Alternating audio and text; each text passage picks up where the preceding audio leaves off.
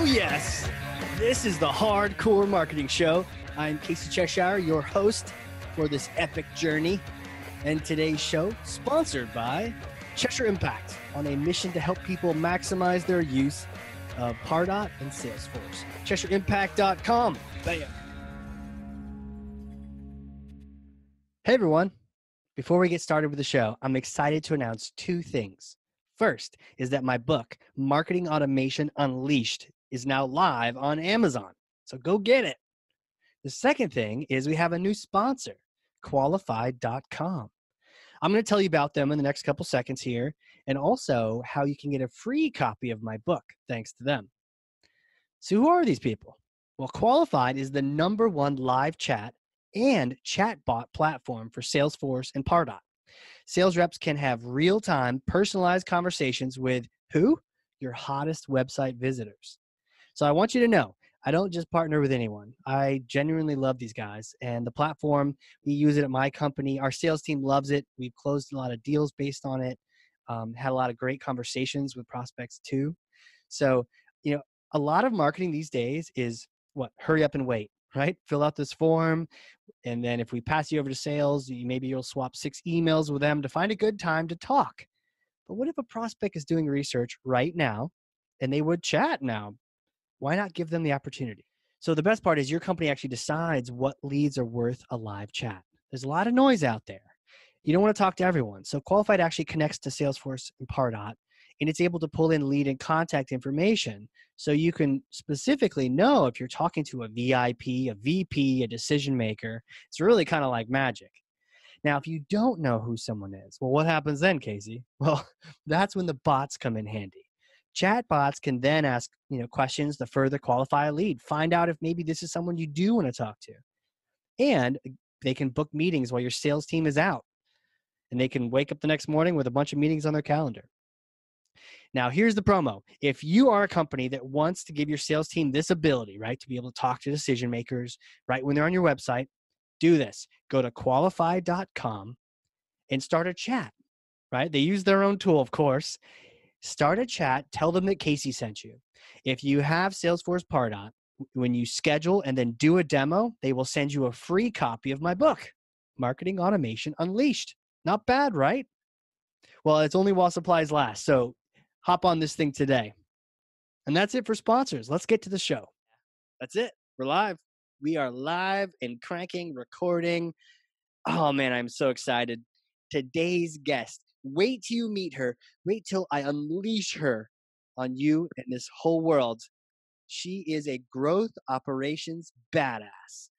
What is growth operations? You you ask? Well, funny enough, we're going to be chatting about that. You may have heard of revenue operations, uh, OpsStars. She was the content chair, or is the content chair for that.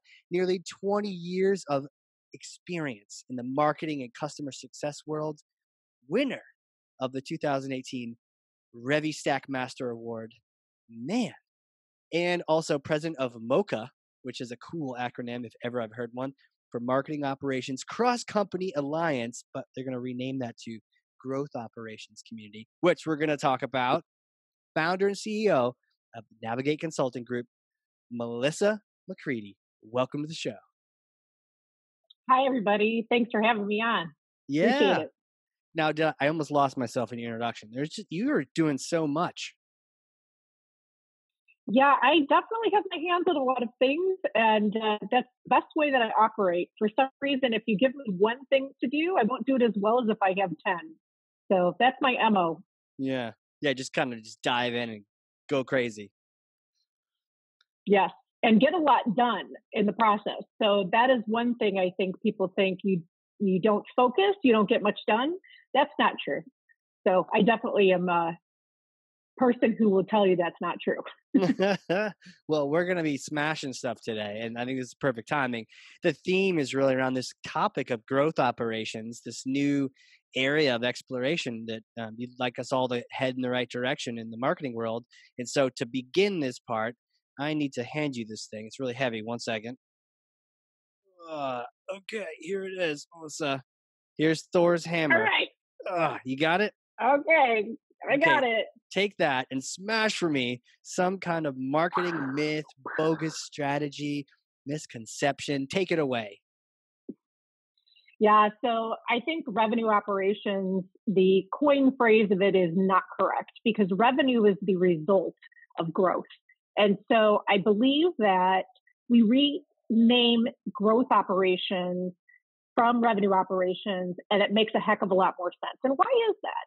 So when we talk about revenue operations, people go, well, what is it really? And I'll tell you what people think it is mainly and what it actually is. Yeah. So what it what people think it is most of the times is that it's a head of sales and it's so much more because as we know when we align sales marketing customer success and channel operations the effectiveness and the lift that you get in revenue and accelerated revenue is significant so we're hearing that from serious decisions, we're hearing that from LeanData and with that said growth operations is rev operations, but growth is what you're doing, right? And operations is how you do it. So I believe that growth operations is a better thing to say.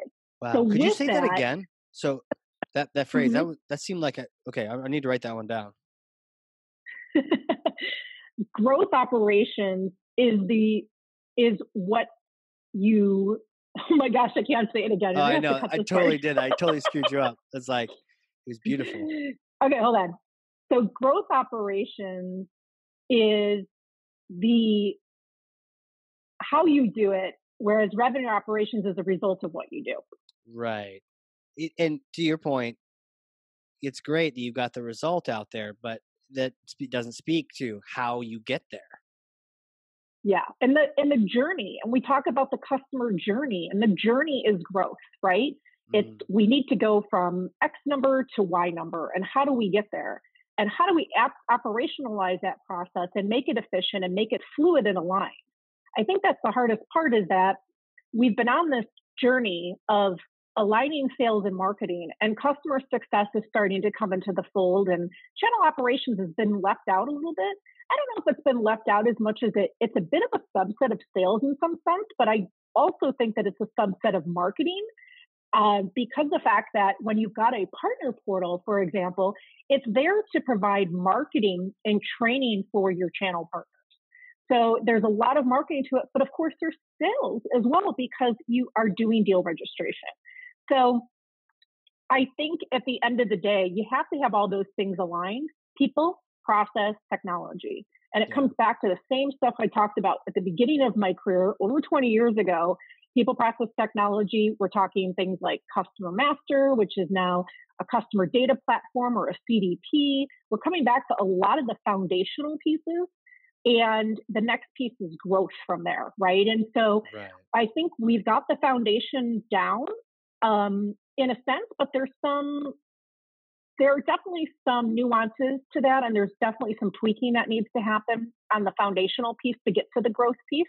And it's funny, Casey, because in reading your book, you said you have four words that you like to use, and and that first one is foundation, and the next one is growth, and and then we get into automation, and then we get into reporting, and I couldn't agree with that more.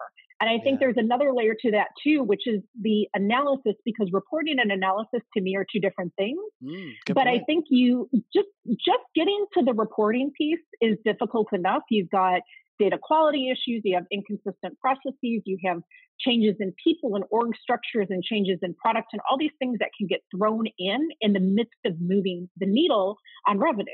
So with that, that growth operations piece isn't a static thing. It's a growing thing, just like it is growth operations. It is consistently growing and morphing and changing as the business changes. You know, people process technology changes, change the way that you're going to go about doing that. Sometimes more significant in some situations than others.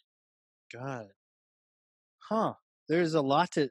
I love that. There's so many things here. One, how did you make the realization on this concept of the growth operations? Because you you're like in it and in, all the rev ops and all the different you know Yeah. OpsStars and all these different things. Like, what did, Yeah. did something tickle a hair in the back of your neck that said like "Uh, maybe we need to focus elsewhere? So a couple of things. So um, when I was working on content for op stars there were a multitude of conversations with experts all throughout the field, um, getting to talk with the analysts and whatnot. And so SiriusDecisions, for example, came in uh, at the beginning of last year, and they had announced prior to um, OpsStars and the SiriusDecisions Summit. So they were doing the big announcement there, and I did a little reveal at the first OpsStars that we did in New York City, and came in and said that the field of revenue operations, the amount of job titles with RevOps and titles in general across LinkedIn had increased like somewhere in the likes of over 60%. And I thought, okay, great. Let's let me take a look at that. And what I found is that a lot of people being called a chief revenue officer had sales backgrounds. They did not come out of customer success, they did not come out of marketing, and they had very little experience doing that. And so that struck a nerve because again, sales is not what should be leading. Frankly, it should be the customer success side. It should be focused on the customer, right? Companies that do well, number one, treat their employees great. Number two, treat their customers great. And you can't treat your customers great if you don't treat your employees great, because your employees will definitely reflect back onto your customers. So, right. with that, coming in as a chief revenue officer, looking at how those people were being hired and what they were looking for and their skill sets, it didn't make a lot of sense to me. And I think revenue is immediately tied to sales, right? Mm. And, and I think that's the perception that's out there. When you say that word, you think money, you think sales. And at the same time, marketing and customer success are not cost centers. They're there as a part of that growth process, and they have been treated as such as being a cost center. So another thing that came up that really um, struck a nerve with me is I'm seeing a trend of people getting rid of CMOs. And instead, they're leading with demand gen and they're not thinking about the brand and the loyalty along with revenue growth.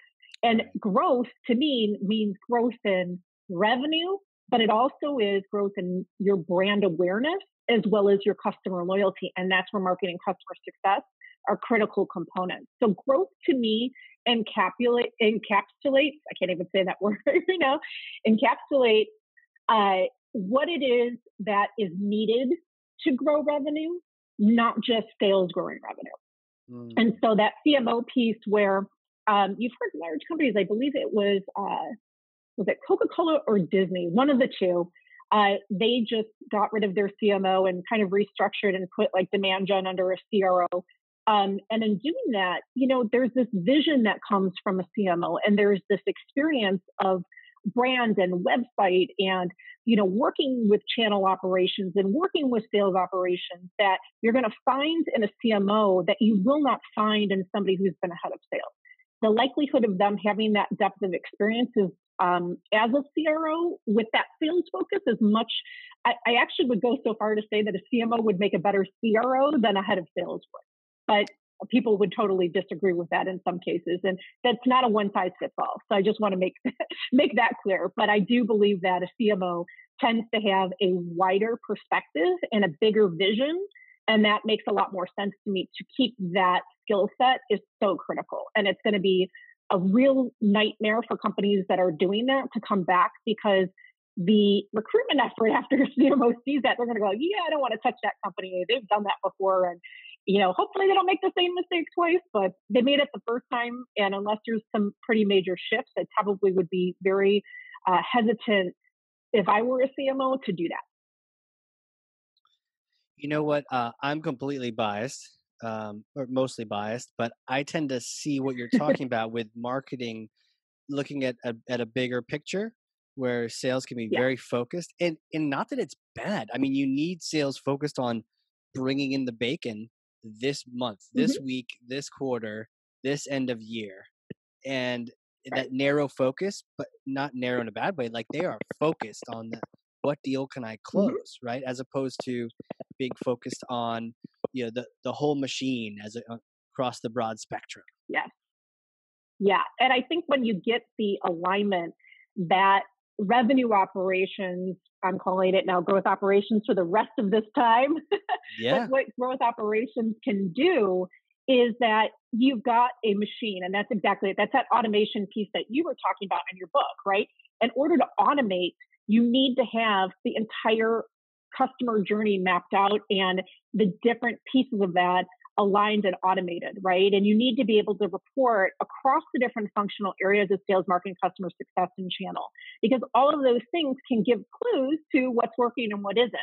And they can also help you double down that if you're looking you know, to drive revenue in, and you're in the last quarter of your fiscal year, hey, there's some stuff you may be able to do to pull it in, right? Have it be that you do a call blitz, but marketing is aligned with that and the customer success team has consistent messaging. I think that's another piece too. I'm going to go off on an offshoot here about consistent messaging. I think it's really mm. difficult mm. to have consistent mes- messaging unless you have that alignment and you want that journey to tell a story and be a story, right? I want, if I'm going to go and purchase something, I want to, from the time that I'm getting ready to purchase, get educated, then I'm purchasing, I want the support that's there, and I want to know what else there is to buy. So, all those three things are important and critical pieces for me to feel like a company has got its act together, that they're able to do that effectively and to keep the communication consistent. So I'm not confused about what this company is offering. And I, I see companies do that. They will switch their messaging all too often. And then people go, well, what are you then? Right. And it's, it's a tricky thing to shift gears in messaging, but do it in a way that is aligned across the entire sales funnel from first touch to first win to first and you know next renewal. Those things need to be aligned and tightly aligned. Right right. You know you know to summarize couldn't we just say you know cmos take over the world? You know cmo for president cmo for you know cmo 2020 there we go. And yeah. Cmo you know CMO should be ceo everyone else you know sales is not yeah. so bad and, you, i mean and i that big picture yeah, and and so um, LeanData recently did a study, and they talked about kind of the makeup of the CRO and what that looks like. And a lot of companies um, from that survey, just give a general overview on this, they said that um, people have been reporting into a CRO, but also the COO. And I can share that my experience, the last company that I was at full time, um, went uh, and were purchased by another security vendor, we'll call it and we made that switch. So we went from when I started with them, global business systems, to setting up all the systems, although it was the process as well, even though it was called systems. Um, and then we decentralized. And I was devastated because I knew in order for us to grow, we need to be aligned and and to get that alignment is tricky, right? So um, they decentralized us, and of course, it built silos from doing that. Yeah. And I made the case to the COO and said, "Listen, I really think this is the path that we should go to bring this all together and really get a deep view and analysis of what is going on across the entire customer journey. And I sold them on it, which was pretty amazing. and then we did it. And then, yeah, there was, you know, it, I think if we hadn't have done that, the valuation wouldn't have been as high um, because we had our act together with being able to say, hey, board members, you know, hey, people looking to purchase this company, we can show you what's actually going on. So I think that um, it was an incredible experience at that organization. It was by far the most rocket ship growth I've ever experienced. Um, and I've ever seen firsthand. They went from like 75 million to 275 million in a matter of like under two years. So uh, building the foundation and the infrastructure and getting to the automation uh, was in you know 90 hour week job for sure. Uh, it was also, like I said, terrific experience. But you know the fact that we went through those different iterations of what it was going to be for growth operations really it, it, was it was challenging. So I've seen it done different ways at the same company, and mm. and just clients that I've had, they're they're trying to crack the nut of how it's going to work best for them. That's hard because it's it's very situational. As I said earlier, it's not a one size fits all, and I think that that definitely is kind of another myth to smash. That yeah, smash one. Yeah, one org structure doesn't work for all organizations, and um, decentralized doesn't necessarily work for organizations that um, do better culturally uh, with having a team all together in one room reporting into one person. Um, it depends on the experience of the people who are in the room. It depends on the mindset. Um, I tend to find that so long as you have the right mindset, it doesn't matter what structure you're in, it can work. And it's a collaborative mindset. And there are people that come into doing growth operations, they're collaborative, um, they are lifelong learners. Uh, they are people who are open and willing to make changes quickly, uh, but also willing to call out the risks and be willing to take risks. So I think those are, are a common theme in, in the class of the people that you're going to find working in growth operations that will be there for the long term. And um, it, you know, it's also here's another myth I want to smash. Which is away. about the audit about the tools, right? Just Mhm. because you have certification on a tool doesn't make you an expert. And I think um but I'm but Yeah, I'm I 30 mean, I'm I'm a 30x certified uh, guru. Yeah, well, 30x is a little different, but you know, early on in the careers, you know, somebody comes in and they just I have their know. Marketo certification. They're not ready to go. They're not ready to just jump in. You have to understand, you know, that word. Uh, again, in your book, you say strategy is kind of like eh, it's a little bit abused, and yeah. I I agree with that entirely because um, to me, strategy is much more simple than what people think. It's literally having a plan yeah. and being able to say, this is what I need to do to execute on it. And if I don't have that, I'm dead in the water anyways. I'm just going to be shooting from the hip. Who wants Yeah. that? Think And about the inverse not, of that, right? The inverse of not being yeah, not having a plan. Forget the word strategic. Okay, having a plan and executing toward a goal. Okay. So if you're not doing that, you don't have a plan, you don't have a goal. You're just just going, just doing. Okay. that, that doesn't sound good in any situation. No, no. I mean, and and you think of that in, in the sense of, and I'm sure that you've dealt with this too, Casey, is that you walk into a client and you're like, "Where's your marketing calendar?"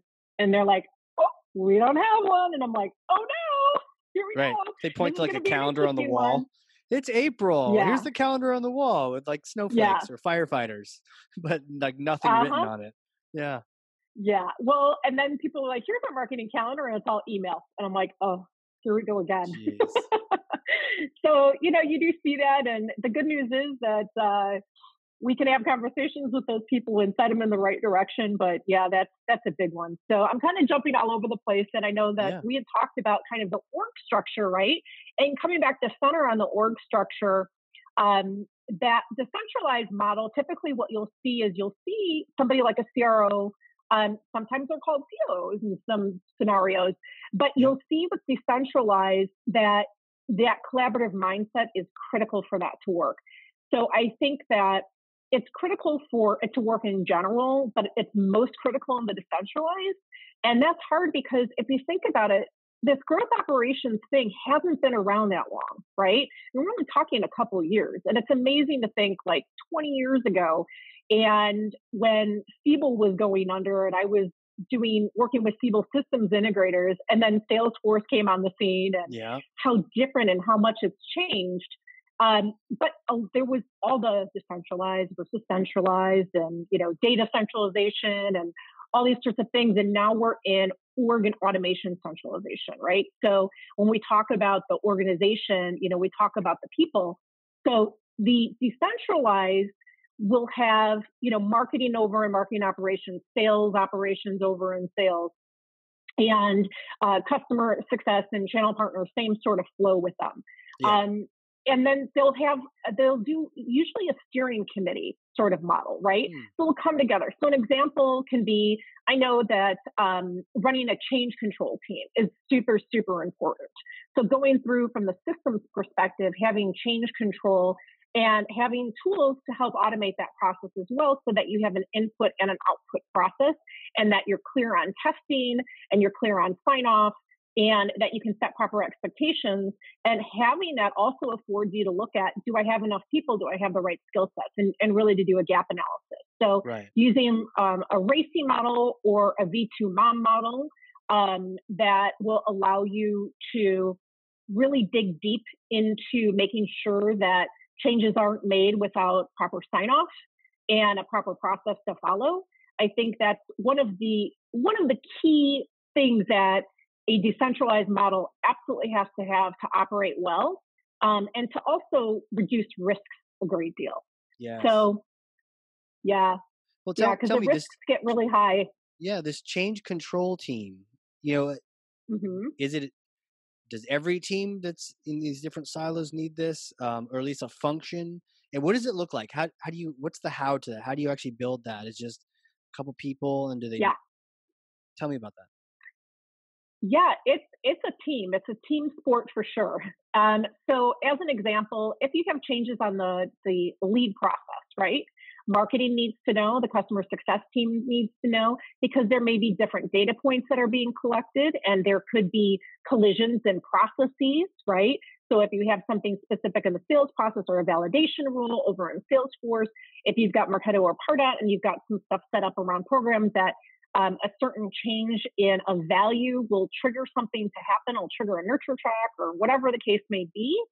Um, it's really, really important to have those discussions to make sure that that impact uh, risk is mitigated. So what it tends to look like is I, I can tell you how I've run them in the past. And there's um, I like to use Salesforce as an example, and there's a free tool um, for change control that you can use and to customize uh, on change control on the AppExchange that I will use. That'll basically say we'll put it over on the homepage with a link and say you know request a change or uh, request help or whatever, and that change control committee operates off of those change requests and prioritizes them and looks at how much effort it's going to take um, to say this is when it's going to get delivered. And then there's a communication process, just like a regular ticketing system, but it's specifically for changes within the system. Right. Mm-hmm. And so then it's reporting out, right? Like how many changes we have this week. There's a communication that goes out to every team. And the operational team, then each of them are required to communicate that out within their functional area. Um, so that's also an important thing. Like if you have a uh, weekly sales meeting, if you have a weekly marketing meeting, that should be on the agenda or customer success kind of just staff meeting and check-ins. Put that in there, right? Works right. really, really well. Here's what we've got coming up. Here's what we've done. And also allows you to keep honest on how you're doing with MBOs, right? Mm. So when in setting MBOs first and foremost, everybody should be tied to revenue for sure. Like, and I even think that marketing should be comped and customer success should be comped in on a percentage of that as well based on contribution, right? Mm. So if you're doing renewals, you're already getting um, some sort of commission on that, right? But on the marketing side, it, it really hasn't. And I think that that's one thing I hope changes. And I'm seeing a little bit of that happening where there is more of a bonus tied in with marketing for helping boost revenue right? If you if you're over if you're at 110% and marketing's got you know a 40% contribution, they marketing should have bonuses on that, right? And the MBOs should all be tied at the top. So whatever the overall goals are, those should trickle down to each of the functional areas. So with that, you've got the functional areas of marketing, sales, customer success, and channel ops. Each of them are going after the same goal, right? We want to build uh, X amount of net new customers. We want to get a percentage renewal rate. We want to have a customer loyalty score. We want to have a net promoter score. All of these things are tied together, right? Mm-hmm. And everybody has uh, visibility into one another. Right. So I think um, when we talk about the change control element of it and we talk about those MBOs, we can look at those change control elements and say, are we servicing what we're supposed to be based on what those overall MBOs are and, and, get tactical and say we spent too much time on this and not enough time on this, or we shifted priorities here because of these things, and we can have a frank conversation with right. measurable, tangible things to look at. So instead of going into the exec team and going to an you know e-staff meeting and saying we didn't finish this, we can say we did these things and this has been shifted because of these things and they afforded us this versus if we went this path, it would have afforded us that.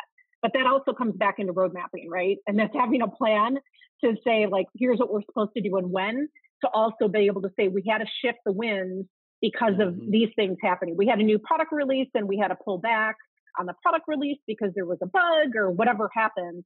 Those things can can shift the needle in, in any organization. So keeping um, real about expectation setting, but change control gives you um, a bit of a litmus test to make sure that you're on the right path and you're spending the time in the right areas and that people are aligned and communicating and there's a communication structure to make sure that people are doing what they're supposed to be doing.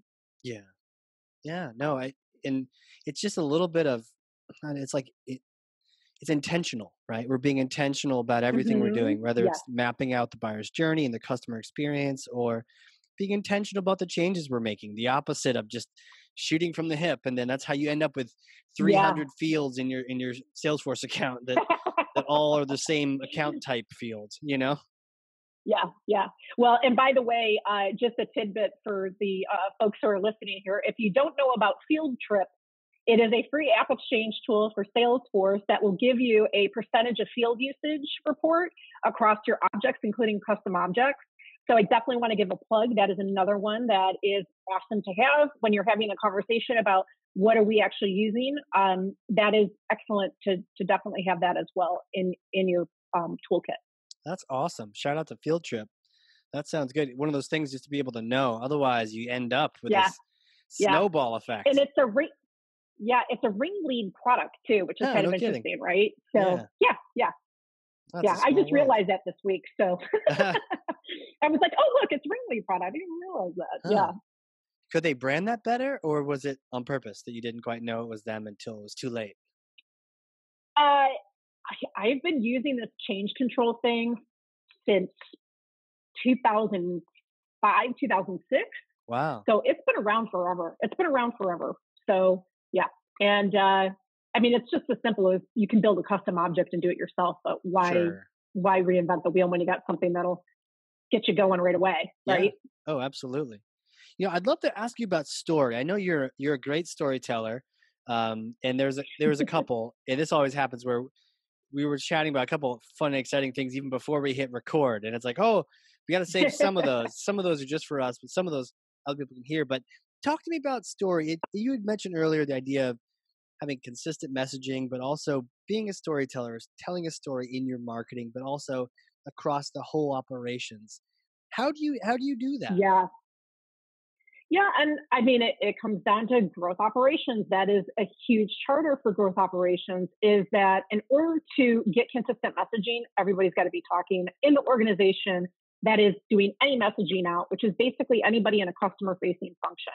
Mm. So when we talk about um, who our customers are, defining that um, throughout the stages of the life cycle, SiriusDecisions has some really great models for this. And you can actually just Google up uh, customer journey model SiriusDecisions, and you'll get to see some of those visual representations showing you how to do that, where it'll say, everybody, this is how we define who our best buyers are. Uh, mind you, that that's also not an easy thing to do. So I'm going to go to an offshoot on that comment, which is in order to do really good segmentation, you have to run a business for a little while in order to really understand who your customers are and who your buyers are and, and your who your prospects are, right? Mm-hmm. And who are your your champions, um, who are going to be the the referral types, and um, having a CDP, a customer data platform, is really important to do that. Um, but it's also not the most affordable thing. So you're not going to find a CDP in a smaller company. I mean, your right. entry point in um, for most of them is is a minimum of 100k. So it is very cost prohibitive. I think that's going to change. I think CDPs are going to start to become more affordable. Um, when you see like the DiscoverOrg and the Sixth Sense and the LeadSpaces, um, I do think that eventually we see that modeling just like with any sort of enterprise thing they start mm-hmm. to they scale it back some like to start small and go forward but um, there's definitely a huge need for it in the market space in order to really use ai artificial intelligence to identify those segments. And that segment definition is a huge part of the of getting the messaging correct is understanding who we're talking to. And when we understand who we talk to we're always speaking in the terms of why do you care? And I think that a lot of times people go and they push with the product. But at the end of the day, why does it matter to me? If you're not answering that question, you're dead in the water. It's very difficult to talk about the value of a product if you don't understand your customer enough to say, this is what it means to you yeah. based on your role, based on your level in the organization, based on your experiences, and doing your homework on people, right? I'm going to jump over on that note for a second to ABM, account based marketing. Oh, well, hold on a second. Term, can, we, can we talk about just how yeah. you do your your homework on your buyers? If you don't know, like, yeah. why do you care? Like, you need to find out. Yeah. And if you don't, wh- what's your approach? How do you find that out? Do you interview them? Well, what's your best approach? Yes, I love doing um, think tank groups and getting people into a room, um, talking to people that are in the industry who, if I explain something to them, if they get it or not, and then what they get about it and what they think. So it's a lot of exploratory questions going into it and um, reaching out to people who would be using this stuff I think is um, the most important, but also talking to people who wouldn't use this stuff to see if they could even understand and grasp the concept. So I think a lot of companies misstep in that is they don't go to that second level of people who don't know about it. They probably have never used anything like it to get their perspective to see if you've broken it down enough for people to understand what it is and what it means to them. Mm-hmm. So that mm-hmm. value, um, that value building exercise is extremely critical from helping to define what it is that people need. And then the segmentation is how does that look different in different parts of the country based on the makeup of things? How does that right. look when we talk about that job role and that job level? How does that look um, when we talk about the size of a, an organization? So when we think in those terms, um, then we go to the next layer, which is what are the things, and this is where uh, companies like Bombora will come in and um, the CDPs will play with Bombora as well, and they'll give that intent data. And that intent data will help us to look at those behaviors and clump them in a way where we can say, if I am in this space, this is the best level of person in this role. These are the keywords that they're going to look at the most this is the buying cycle that they take, right? They start um, by going and investigating and they'll download white papers and here's the types of stuff that they like to read. And that also comes from customer success, by the way, right? Okay. So customer yeah. success has a huge hand in this as well because they're going to say the makeup of our customers is this. Marketing is going to say the front end looks like this and sales is going to say the wins look like this. You're going to marry all those KPIs together, right? And the thing with CDPs that make them so powerful with the AI is they take all of that data and they give you back the intelligence of the results. So, if, for example, LeadSpace will come back and will say, hey, um, this is your buyer and this is what they look like. And here's your secondary. Their propensity to buy when there's this combination of data points that you've collected is higher and maybe it's 6x higher than this combination of those data points, right? So company size, job level, location, keywords that they search on, um, and time of year, right? Seasonality also plays into that. So, um, and then you also have to think about that from a channel partner perspective, which a lot of people haven't gotten to, which is, well, how is that different? Because your channel partners, they're mm, sellers right. as well. And guess what? They're also buyers.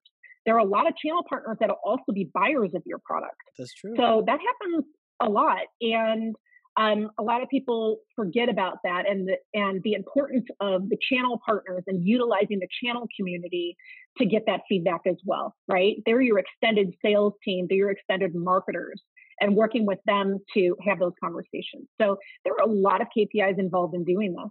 And that's why it does take the plan and the thought and really getting deep into the tactics of the automation, right? That's why that change control becomes so critical, right. is because those data points and collecting them correctly so people can trust the data. Ha ha ha. I laugh at that exactly. that's always the big one, right? Um, and getting everybody to trust the data to be able to formulate, you know, the best customer journey path that you can get. So yeah, yeah, yeah. yeah I think I saw a stat around customer data. Something like no one does trust their data. Like 96% of all marketers don't trust their data. yeah. And sales doesn't trust the data and forecast accuracy is, you know, one of the big hot buttons for sales, right? And right. It's difficult. Um, you know, and a lot of it, it's people process technology. So the technology isn't going to drive your sales, right? The people are going to drive your sales. The technology is merely there is a toolkit to support. Yeah. Um, and it certainly can help guide process by all means, but it is not going to sell for you. Just like the key, do not enter in the data themselves. You've got to do the work. So and true. you know, as much as you can with the sales team to mitigate how much they have to enter in, the better. But there's also critical things that need to be there. And you know, your your BANT questions, for example, depending if you're using a value selling model or whatever sales model you're using these days, um, there have to be gates to capture the information in order to move forward so that you do get consistent process being followed. And the tools certainly can help with that. But still, if people are entering the wrong data, then you're out of luck. out of luck. There's so many moving pieces. I, I can see why. Yeah, I mean, yeah. you, have been consulting and in this area for a while. I can see what you would need someone like you to be able to come in and just make sense of this because it'd be like there's so many moving parts. Like how, to even get it straight. You know, yeah. My my next question to you is like, who are you? How did you become this? I know you talked over, you know, the uh, growth operations witch self-professed. Yeah. How did you become this yeah. this wizard witch of all these things? Take us back to like you know little Melissa days. Did you running around going growth operations or like tell tell us the story? it, it's crazy. So um, I had no idea what I wanted to do going into college, and I thought, you know, maybe I'll be a sports psychologist. And I professionally figure skated. So when I say that, I mean that I was competitive, and then I taught. Not that I was on this like uh, circuit or whatever people that you see on TV, but I, I lived and breathed it, right? And so it afforded me to handle a lot of things at once. So thank goodness for that.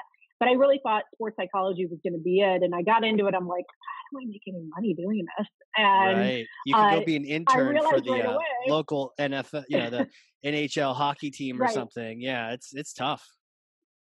Uh, well, and what really um, stood out for me, interestingly enough, was statistics. I really love them. And I'm like, what is wrong with me? Like, who loves statistics? Well, apparently I did and didn't realize like how much I liked it. And then I was going for, um, I thought I was going to become a lawyer and uh, realized very quickly that I didn't want to do that. And I um, went for my MBA and uh, my MBA is in training and development, which was computer based training.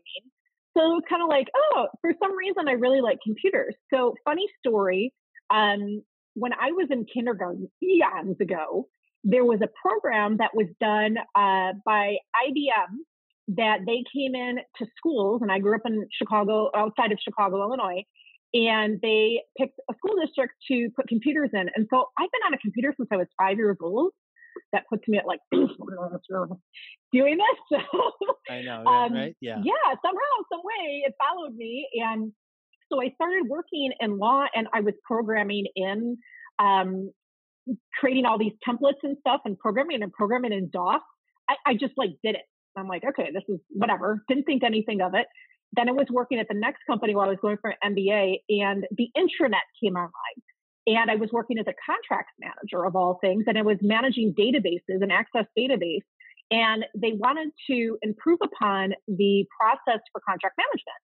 So I said, oh, okay, well, I can create a form and we've got the intranet now. So someone can create a form and it drops it into Access and then I can spin off an email from there and then they can electronically sign. And so it was like a two week process that I got down to like 15 minutes. Okay. Still, still had no idea what I was going to end up in. You refined it down though. I was just like, okay, so obviously there was a lot of stuff there, and I tried a lot of different things. And I worked, um, gosh, in property management, doing accounting, um, doing sales, doing marketing. Um, I I taken gigs doing like interim customer success head. There's like been so many different things that I've tried because this really didn't exist back then, right? 20 years ago, this stuff was not really there. And I happened to be working at ADP and I was working in sales and they had SalesLogix database. And I was just like, whoa, this stuff is awesome and killed it. And then they were like, hey, can you train the new people on it? I'm like, yeah, sure. Well, while I was doing that, there was a consulting firm that came in that was doing Siebel. And they kind of took me over to the side and they should have done this, but I'm glad that they did because it completely set the course for everything and said, you need to come and work with us. And I said, okay. So then it was project management and I like, was sorry, running, not sorry. Um, yeah, totally, right? so I was doing marketing for them. I was doing some project management stuff. I got people certified and off and running. Um, and at that point, I was like, I need to leave where I'm at. I was in Illinois at the time. And so made the jump out to Silicon Valley, spent 20 years in Silicon Valley, crazy enough. I just recently, well, in the last three years, moved down to SoCal.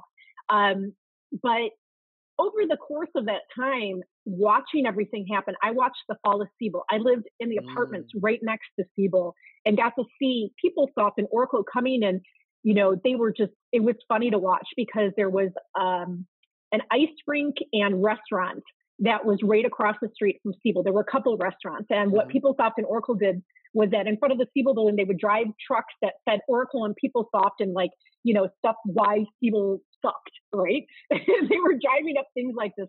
It was it was a fun time to watch all this stuff go down and then wow. Siebel collapse. And I remember I was brought in to do some product review at Siebel and they showed me their online CRM. They were trying to go for it but it looks so Microsoftish, and they built it on Microsoft, by the way. Um, and it was just like, yeah, no. And I had started playing with Salesforce already, and at that time, still, we didn't really know all this stuff was going to happen with this. But I thought the whole time, every company needs this. It's a customer-facing set of applications that we need to run a business. So that at that point in time, it really set because that was a trivial moment for anybody in the CRM space with Siebel. You either were going to make the jump out of it or you're going to stay in it and take the risk. And I took the risk and I'm so glad that I did. I'm forever grateful that I, I made that decision. Yeah. So, and here I am all this time later after working for so many different companies and getting the experience across the entire customer journey with the systems and the processes and the types of people and really having a full um, view on that. And there's not many of us that do. So it's always fun talking with people because I'll you get so many different perspectives on things and you can never you never know everything. You're never going to know everything. I'm glad that i don't know everything. Um, i am very happy not to be google or siri or alexa. That is no fun in life. So it, it keeps me learning. And that is another thing too is you know, we talk about how I got here and how I'm staying here is that I'm I'm constantly reading and learning and networking. Those things are so critical um, on this path because it's a new journey for all of us, um, and we're trying to solidify what this really is, so that just like CRM, you know, back in the days over 20 years ago now, um, that this holds. And I wow. absolutely believe that it will, and I'll, I'll be the risk taker to say I'm going to take this risk and I'm going to bet on growth operations for sure. You know, I I see where from your background, and that's why we ask these questions. Like you've done all mm-hmm. these different things, and so yeah, you've you've had a chance to. I mean, and we've always talked about how if you're a marketer, you can get a chance to do any kind of sales. It makes you that much stronger because you understand yeah the other side, if you will. But to your point, I mean, you've been in the customer side, the, success side, mm-hmm. the sales side, all of it. And so it, it's almost good that you don't have necessarily a loyalty to any one side so that you're able to bring right. them all together into the single operations yeah. channel. Yeah. Well, I think that's where growth really strikes a chord with me is because I've only been focused on growth. And so I thought while I was getting experience in doing different projects that it was extremely important to understand all aspects and I shouldn't say the word all because it sounds too definite, um, but really understanding as much as I could from different perspectives. Like, what does a POC process look like, right? That's a critical part in the sales funnel to get to close. And, and if you don't have that down right, your sales cycle is going to be held up. You need to know how to do that. And you need to know when you hand it over to product, how product works, right? And mm-hmm. understanding, you know, when product is going to spin up um, a license for something in that sort of scenario, right? In, in a B2B uh, software model that, um, or online cloud software model, we should say, that you're spinning up a license. And what does that process look like, right? So that right. you're well informed to say, okay, are we doing that the best way that we can? Because that's a part of customer experience. That's where you start handing over um, the ball to your customer success team and back to your marketing team, right? Because now they need to say, what do we need to be effective to keep this customer not just happy but loyal. We, and you know, mm-hmm. I mean, it's silly. The same stat's been around for eons about it's 50% less cost to uh, bring on a new customer, or wait, to keep a customer than to bring yeah, on a new one, right? Exactly. And it's yep. been around forever, but it is so true. That that's like never changes. It just doesn't. that one I will say with definitive uh, confidence, right? That doesn't change. So we need to be able to see throughout the different stages of that life cycle, what do those operational processes look like? You know, what is the makeup of the skill set needed yeah. to run those things? And if we don't, and we we need to bring in help to fill the gap, that we can do that quickly. Yeah, that's how we accelerate, right? is right. that gap analysis, I believe, is, is a huge accelerator. And within growth operations, you're getting all of these people together, right, that know these customer facing operations. And you're having those discussions and you're realizing and you're poking holes in it because most of the people have that operational mindset. They're like, well, why would I do that and not do it this way, right? And and that's the dialogue that needs to happen. So it's really, really, I know it's strange that I've been across all these different things and I'm dangerous enough in each of them, maybe a little bit more than dangerous, but dangerous enough in each of them to have and guide those conversations and um, know what it is that we need to ask. I think yeah. um, knowing what to ask is much more important than knowing. Agreed. Ask good questions. If you know what you know and that's all you know, and you don't know more than that, and you haven't asked the questions, you know, it's really hard to go from there. So yeah. you need to, it needs yeah. to be the growth mindset. Mm-hmm. And you gotta, and, you gotta know to it. ask questions. Yeah. Right. And that, you know, it's funny, you see that the mindset shift, right? And everyone's talking about the growth mindset. This is kind of where I'm going with this, right? I, I really feel so strongly about it because I think the growth mindset has really struck with a, a nerve with people, right? People really understood that. They're like, yeah, that makes sense, right? Well, then why isn't it growth? Right? Mm. We all mm. know growth comes from brand, it comes from the loyalty, it comes from the sales, right? And um, yeah, you get revenue because you've done a good job listening to your customers. That's where revenue comes from. You know, if if someone is hearing you and is like, "Wow!" First of all, wow, there's so much here. I wanna, I want mm-hmm. to follow you into the jungle. Welcome to the jungle. I want to follow you. what is the yeah. first step they take in the growth ops direction? What's the one th- very first thing you want them to do? Ooh, that's a tough one. Um, I'm going to answer this in a couple different ways because I sure. think it depends on what functional area that you're launching from, right? If you're in marketing operations, the thing that I think is a trigger that happens, right? It, it's more trigger based at this point than it is people are being terribly thoughtful about it. Not that some people aren't because they are, but the trigger for marketing operations is ABM, right? Mm. Um, because it's forcing you to have the conversation with sales and you're doing that with customers because it's mapping out the customer journey. So I think um, I'm going to sort of veer from where I was going in that I think that really is it. Like if you're going to start growth operations, take a collective look, getting your sales, marketing, channel, and customer success teams together to look at your customer journey and do a gap analysis. List out what processes you have, list out what tools you're currently using, what's working, what isn't, what do the numbers look like, what do the goals look like, and sitting down collectively and looking at that and figuring out, okay, how do we do this?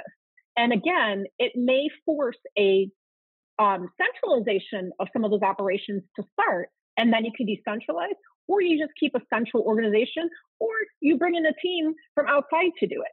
And that mm, helps you right. and supplements what you're doing, but keeps you on that path, right? They're going to be your project manager coming in to guide you on this path to work on that customer journey project. You're you're identifying those segments. You're identifying, you know, do you have the skill set to um, execute on the campaigns and programs that you want to do?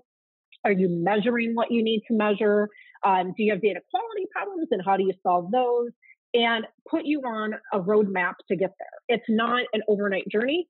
Um, it's definitely, it, it, can feel like you're sprinting a marathon uh, in some cases, depending on the growth of the company that you're in. There are companies be, yeah. that just have, like, I mean, look at Snowflake, for example, and they're one of my favorites. And um, I did a data warehouse project with them. It took us two months, two months to put in a data warehouse. Do you know how fast that is? That's like insane.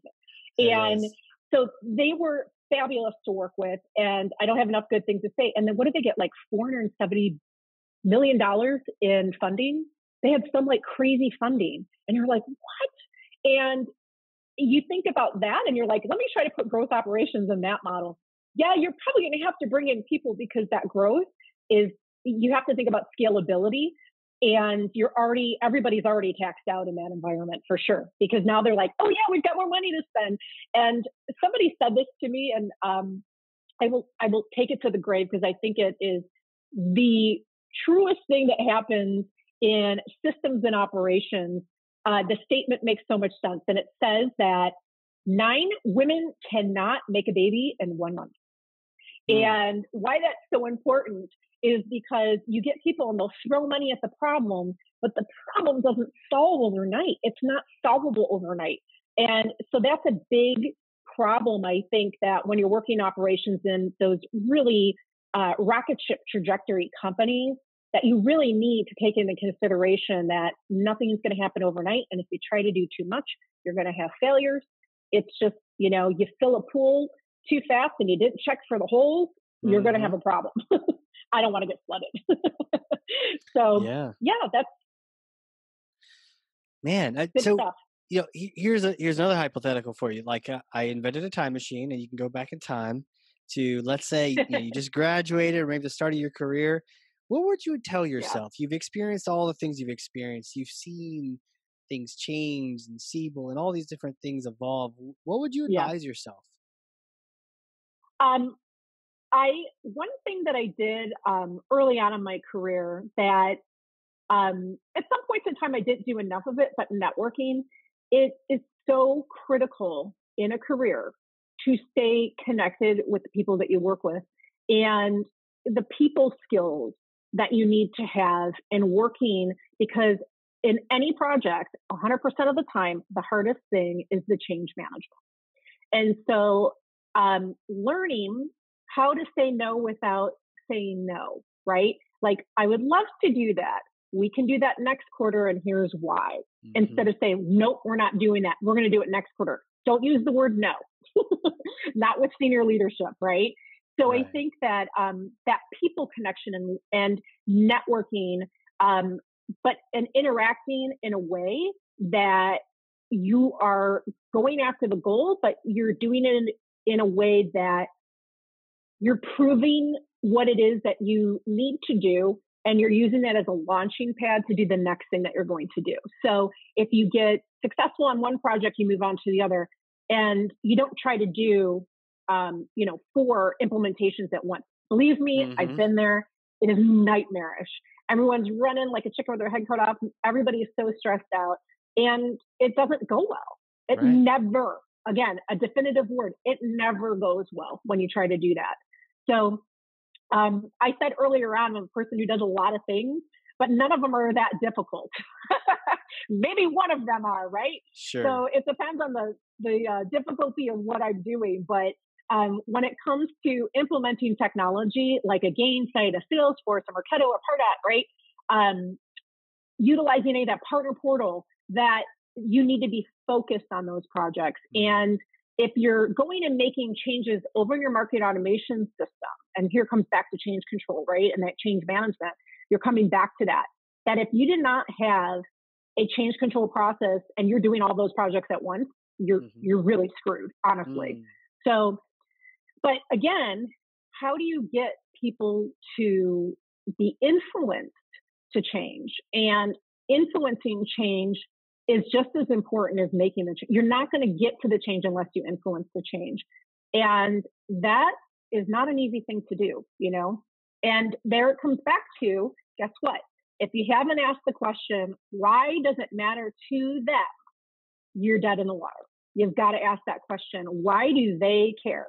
why should the business care, right? Not all people are going to care about every project that you do, but the ones that matter that you need to be in the boat rowing with you, you've got to make the case for them to be in it with you and why it matters to them and what it's going to give them, right? Mm-hmm. If they've got to go and prioritize a project that they didn't want to do, and because they've got their other projects they want to do, that really means more to them. That getting that buy-in is really difficult. So learning how to navigate that, I think, is um, something to pay attention to early on in the career is just watching how people navigate, watching how to say things a certain way. Um, I will say that I made so many mistakes along the way of just being kind of brash and I'm a straight shooter. Like I don't, you know, I tiptoe around things. Like I will just say it like it is, but um, there is a way of saying it like it is, and there's a way of saying it like it is way more nicely. mm-hmm. So I think that one was a big one, and um, I actually went um, to the um, Harvard Mentor Management Program, And that was a huge focus in that program. And I think that um, it really prioritized that one for me as like it flip flops between one and two for me now. Whereas, you know, prior to going to that program, it was probably in my top five. But now I realize, you know, the delivery of um, saying things will absolutely dictate the relationships you're going to have with people, right? And right. it sounds so simple, but you just don't realize it in every day that you know you're even doing it because your intention isn't to do bad. Your intention is mm-hmm. to do mm-hmm. good, but you always have to take into consideration how somebody else might how they might perceive that right they may translate that differently than you so right. i think that if i went back and i would just say like pay more attention to other people and ask more questions perfect perfect that i mean that is it's so interesting it's it flies under the radar it's something that yeah, watching how people navigate and how they say things in certain ways. And even if you want to just be that bull in the china shop and just smash Mario Smash Brothers, you can't yep. do that very long if you still want to get buy-in and collaboration from people. It's it's uh, it's one of right. those soft skills to learn. Uh, is there a way to mm-hmm. learn that other than brute force trauma? Observing how people you really know good at it. I don't know. Yeah, I mean, I would say that yeah, absolutely. That that Harvard program was amazing. Mm. I mean, it's I was very fortunate that the company that I was um, with at the time paid for it. Oh, thankfully, cool. thank you very much. Um, but at the, I think there's still plenty of things to do. Right? You know, read on the topic. Read on the mastering how to say no um, without saying no. Right? Mm. And you can mm. go on Udemy and you can go on to Coursera, uh, you can just Google it and find people talking about it. I, I, like TED Talks a lot, by the way, because I think that the people who come in and do TED Talks typically have that recipe down of how to say things in a way that's very engaging. And um, there's a TED Talk specifically. I'll, I'll have to find the link and, and maybe you can share this out with the listeners. Sure. Um, that talks about the best way to present and there is a specific recipe that they said that like Martin Luther um, King Jr. speech followed. And wow. um, major speeches, JFK's speech, um, that they followed this specific recipe. They didn't even know they were doing it, but they followed it and wow. they were able to say, like, if you do this presentation a certain way, it will be a winning presentation 100% of the time. Isn't that crazy? Really? So, anyways, um, it was something that when we were going through OpsStars, that I would send our speakers and be like, "You have this is like fascinating. It's so amazing." Um, so yeah, I definitely will share that link if you want to share that out with everybody. It's, it's really cool. I just have to dig a little bit for it. Yeah, I'd love to. I'd love to hear about that. I'm I'm in a class right now to learn and then eventually do TED style talk to our local area. Yeah. I think I'm going to do it on marketing automation. Um, and actually, I think you should something like that. Yeah, yeah, it'll be fun. Yeah.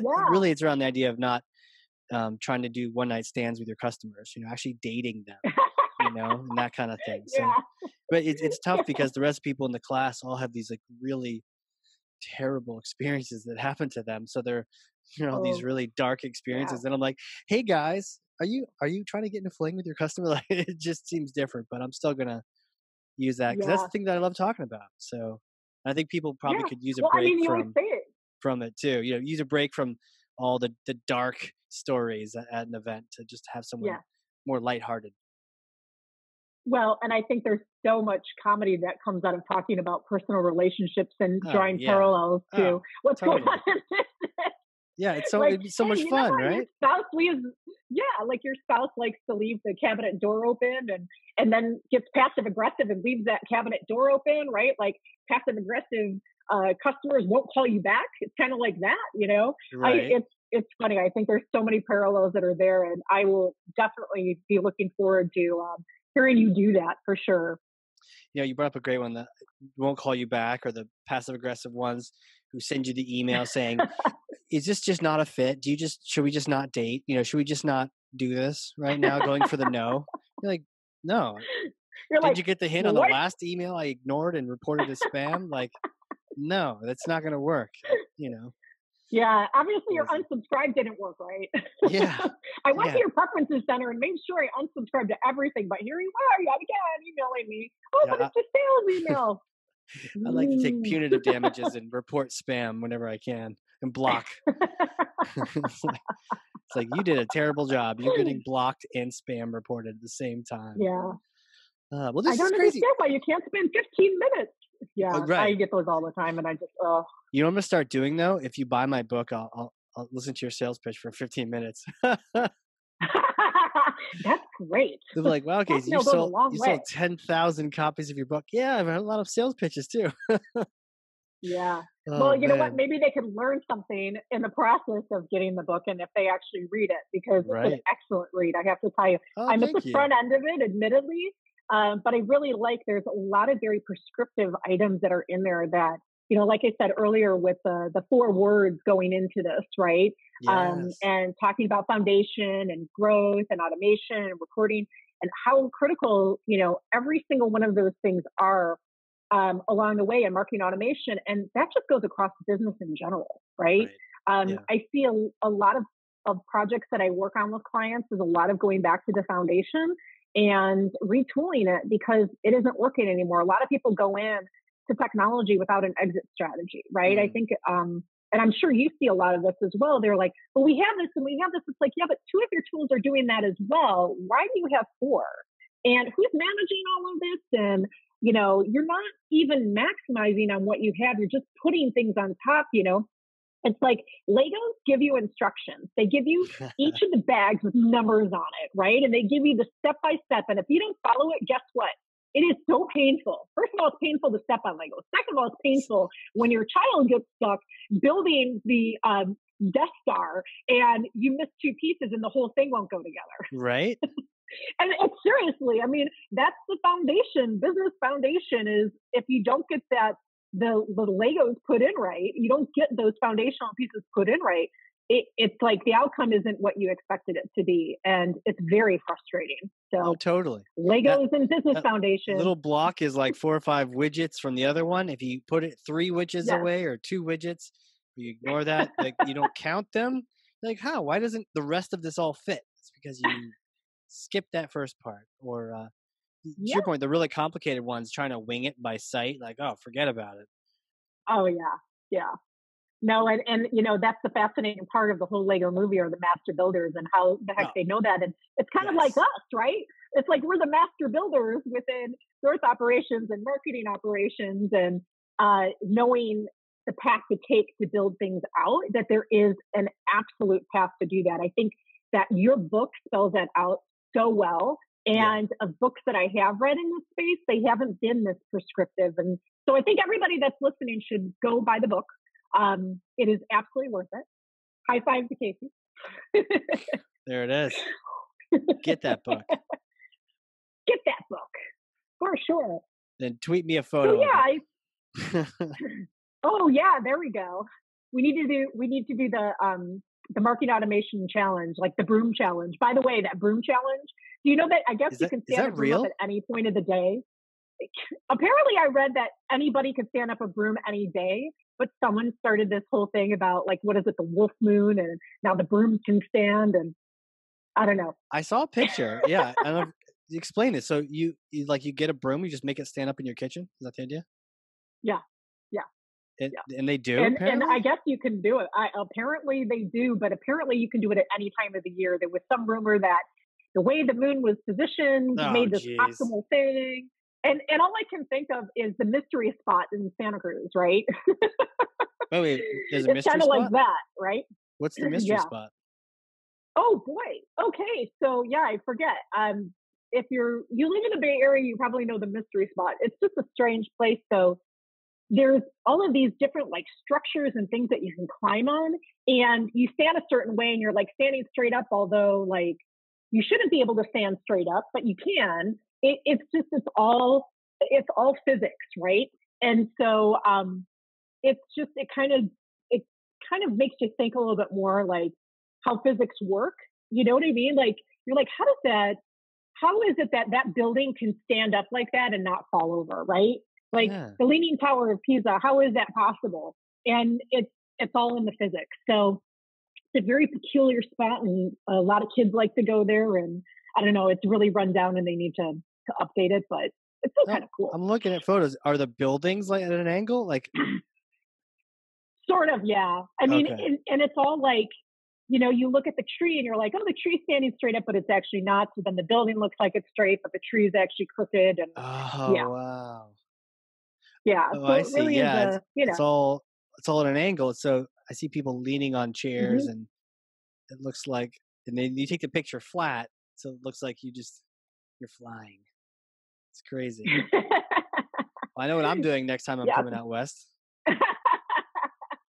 Yeah, go there and, and hit, go to Santa Cruz. There's some uh, good wineries out there too if you're into wine. So Yeah, yeah, get one of that those. was, uh, there's a good place to live.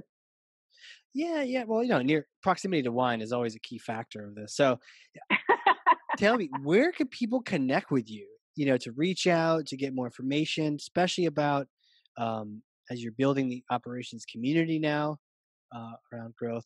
What are the different links? Throw them out. Yeah, so I think LinkedIn is first and foremost for me. I'm on it every day, multiple times a day. Nice. Um, also, yeah, I, I think honestly that is the best place. Um, there's going to be more places to connect with me as a part of the um, the growth operations community. We'll be launching a, an actual Slack community, um, and that's coming soon. We already have kind of a beta started with the internal team, and then we're looking to connect with other groups as well. Um, so I also am going to be um, on a committee with Women in Revenue for content.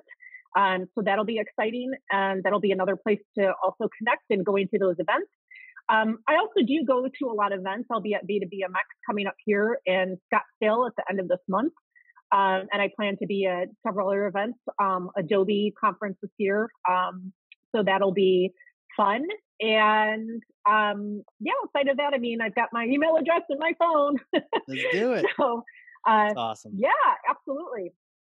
Well, we will put all of that in the show notes. Thank you so much for being here. I don't know if you looked at the clock. It's like a time warp. We've literally just Yeah, it is. we've just talked and shared all sorts of different things. Um, so thank you so much for just sort of sharing all these things. I know you're passionate. You can tell you're passionate about these.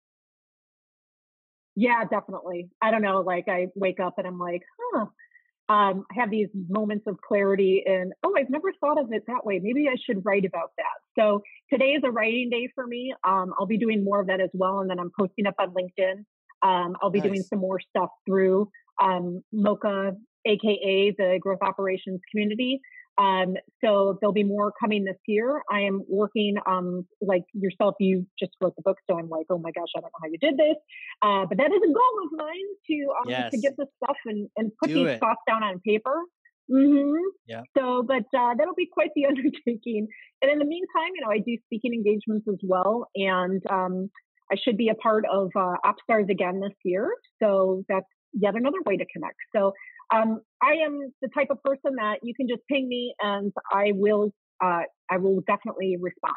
So I'm not a person who will leave you hanging um, unless you're giving me a really bad sales pitch. That Yeah. would that's my passive aggressive approach. I probably won't get back in touch with you, but Terrible Um, yeah, LinkedIn if sales are- approach. exactly.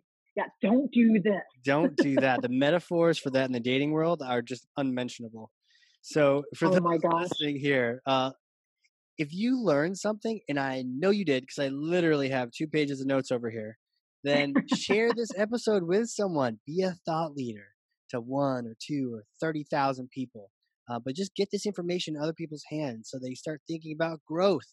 It's not just about the revenue. It's about how do you get actually get there. It's the growth side. So, wow, this has been fantastic. Melissa, thank you again so much for being on here. Thank you, Casey. Thanks, appreciate it. Bye. You bet, you bet. And for everyone listening, this has been the Hard Corps Marketing Show. Catch y'all next time. All right, a big thank you to today's sponsors Cheshire Impact, helping marketers and sales win, maximizing the use of Pardot and Salesforce. And a big thank you to Qualified.com, the number one live chat and chat bot platform for Salesforce and Pardot. Remember the giveaway. If you have Salesforce Pardot and you want a free copy of my book, Marketing Automation Unleashed, then you go over to qualified.com, engage in a chat, do a demo, and tell them that Casey sent you, and that book will be on its way to your door. All right. We'll see you all in the next one.